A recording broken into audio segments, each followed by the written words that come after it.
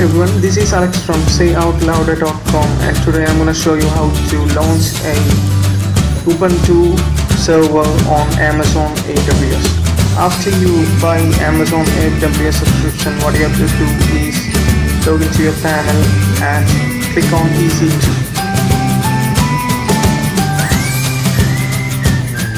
After this, you have to click launch instances.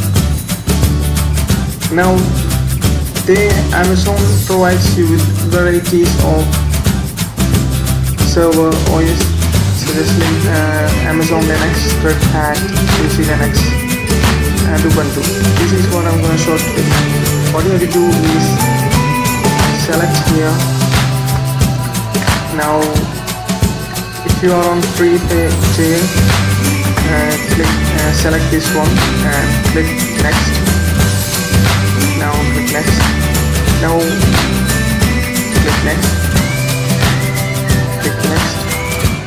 and what you have to do is add two more rows.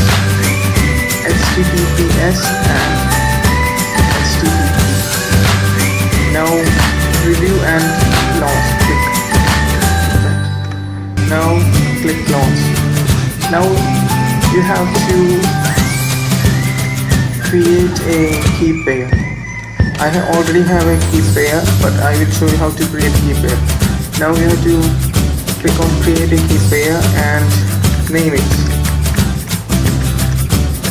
And download the key pair and keep it safe because you will need it to access your virtual machine. Now click on launch instances. Below this video there is a there's a link to another video on how to convert this key pair to SSH that's it click on view instances and in a bit of time um, you will see you will get about a public IP and a public DNS